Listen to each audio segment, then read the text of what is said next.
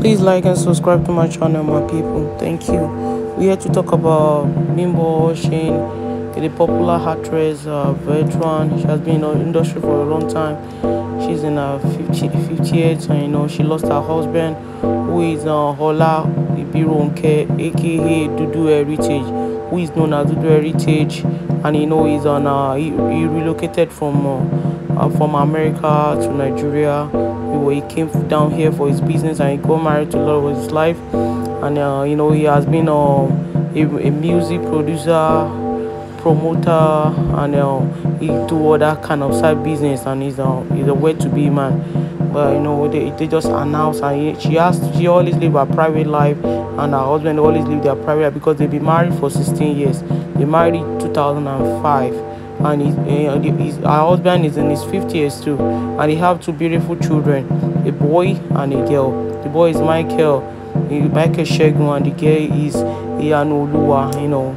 And we so we, we feel so sorry for Bimbo Oshin because she kept her relationship, her marriage secret and private. She doesn't put everything out, and that was how she was able to live. They were able to be together for a long time because she's so humble and you know she's committed to her job too, and she loves her family.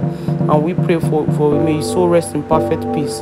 And um, they said the cause of the death was like he slumped, and we don't know. We don't. We actually know no born. She can. She, she hasn't come outside to say anything yet. Even you know it's not easy on her right now. It's not anything anybody pray for. I mean, no God will God will grant her the heart to you know to take out to take the loss, and God will God, God will support and guide her family and in everything she do. God will make these children go go. They will go well in life. No sickness, nothing like this will never come near, near their dwelling again. And you know, this time everybody just have to be careful now. We have to you know we have to sanitize ourselves. We have to stay away from stay feet from people.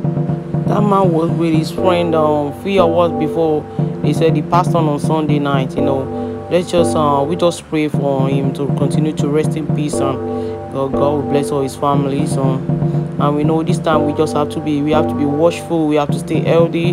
We have to just do some little kind of exercise. Even a mosquito bite, we have to be aware of it because you know everywhere now is full of uh, we don't even know what's in this in the in the in the in the hair. You know everywhere is just polluted right now.